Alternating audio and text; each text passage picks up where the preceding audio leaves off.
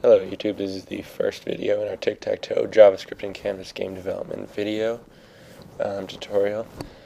In this video we're going to be going over some of our code um, and then we're just going to get started with the basics but we're not going to get too in depth with it.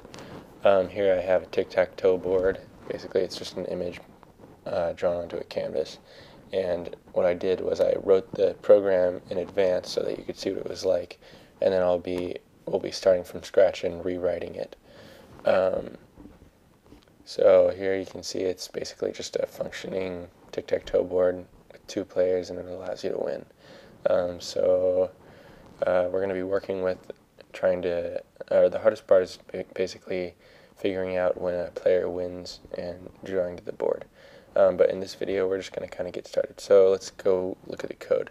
Um, we have variables for our canvas and our context and then we kind of set those there. And here we define some variables and store the images that we use in them. We load those images into variables so that we can draw with them. Um, here we have an on click function which is triggered when there's a click. It checks if the click is within the bounds of the canvas. And then if the zone that's already been clicked or if the zone that was clicked hasn't already been clicked it makes that a move and um, change the turn, redraws the canvas, and checks if the user has won. um, the draw function, which is up next, is basically it just draws it, every time it's called. It redraws the canvas with all the with the background and all the um, moves drawn onto it. So we just clear the canvas, draw the background image, and then for each move, um, we draw an O or an X depending on the turn.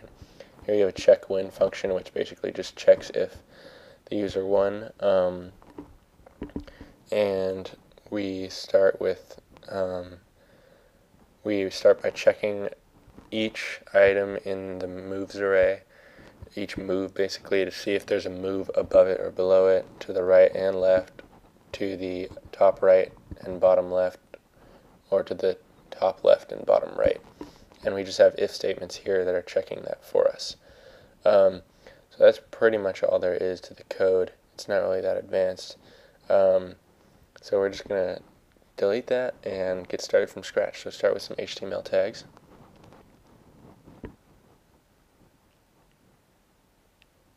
Head tags, body tag, and we're going to make a canvas.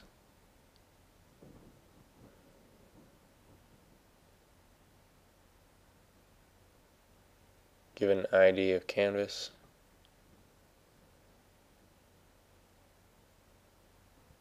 width of 500 and a height of 500. Okay, and then we're going to add a title and make our script tag, which we're going to be writing in.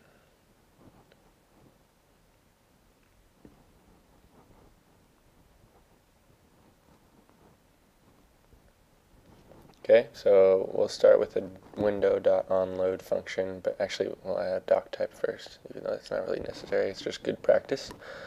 Um, we'll start with a window.onload function, and we need to define um, canvas and context variables. So we'll make those. So window.onload is equal to function And inside that function, we're going to start using our variables, which we need to define.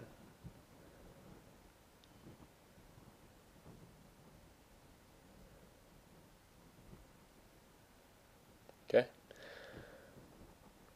So canvas is going to be the one that stores the document variable, so or document element. So it's going to be document.getElement by ID. Got a little spelling. Yeah, there we go. We get we get canvas and then um, we are going to use that variable and get context from it. The way get context works is it it's like a method of every document of, of the canvas element. Any canvas element. Okay so now that we're ready we'll call the draw function which we haven't actually made yet and we'll make that. And that's actually going to do something in the future. But for now, it's just to kind of we're just going to leave it like that. We might, uh, I guess we can add a clear rect. Um, in the next tutorial, we're going to be filling this out, the draw function. But I don't really want to go in depth right now, so uh, we'll leave it th at that. Um, so what we have left basically is the draw tutorial, the draw function, um, the on-click function, which will kind of um, handle the clicks of the user, and then the uh, check win function. So uh, thanks for watching. Don't forget to like and subscribe, and that's it.